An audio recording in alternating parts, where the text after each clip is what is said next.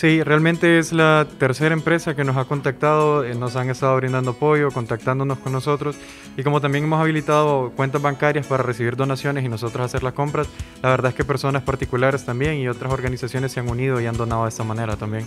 O sea que ha avanzado esta solicitud que ustedes hicieron en su momento. Así es, así es. Afortunadamente eh, muchas personas nos han contactado ya algunos han hecho algunas donaciones significativas monetarias y sobre todo empresas que creo que son los que tienen la mayor capacidad de poder apoyar con mayor cantidad de equipo, nos han contactado para poder brindar diferentes tipos de equipo de bioseguridad para nuestros médicos en, formación. Se habla que son 50 mil mascarillas. ¿Cuándo comenzarían ustedes a hacer la distribución correspondiente? Puesto que los médicos en, trabajo social se encuentran distribuidos en todo el país. Eh, solo quiero mencionar, son alrededor de 500 y algo mascarillas, pero era un equivalente como a 50 mil empiras. Esa era la corrección nada más.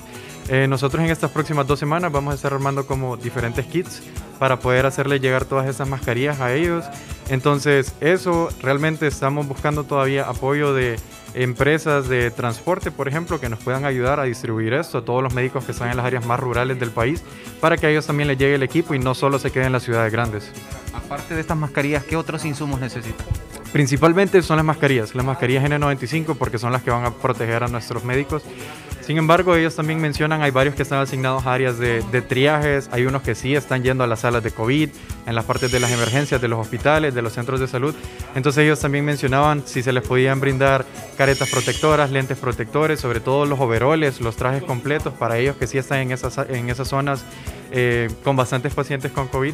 Esas son las principales necesidades. Y algo bastante interesante es que cuando nosotros hicimos una pequeña encuesta para ver qué era lo que más necesitaban, se indicaban todas estas cosas, pero además se incluía otro componente donde ellos mencionaban apoyo psicológico, áreas de habilitar, áreas de descanso para ellos, donde puedan comer, donde puedan descansar en estos turnos bastante largos, que se les puedan brindar, eh, por ejemplo, lockers donde guardar sus cosas, que es un problema, que a veces se pueden perder las cosas. Entonces esas son las necesidades principales que ellos han tenido en, todo el país. Y hasta estos instantes por parte del gobierno o por parte de la Secretaría de Salud, ustedes no han contado con ese apoyo tan necesario. Se han estado haciendo gestiones, se han estado enviando notas, se han estado en comunicaciones. Ahorita más que todo que se ha iniciado una nueva eh, comisión que dirige el año del servicio social, que es el último año. Se está eh, contactando a todas estas generaciones para ver qué tipo de apoyo se puede brindar. Realmente, como lo mencionábamos en, en la entrevista la vez pasada, es bastante difícil poder dotar de equipo a todo mundo y ya sabemos que, como ustedes lo mencionaban, es bastante difícil con los médicos ya, médicos especialistas, no digamos ya ayudando a todos los médicos en formación. Entonces sabemos que ha sido un proceso bastante difícil, pero esperamos que a través de este tipo de iniciativas uno también como ciudadano consciente pueda poner de su parte y donar para poder contribuir a, a esta carencia de equipo que hay realmente.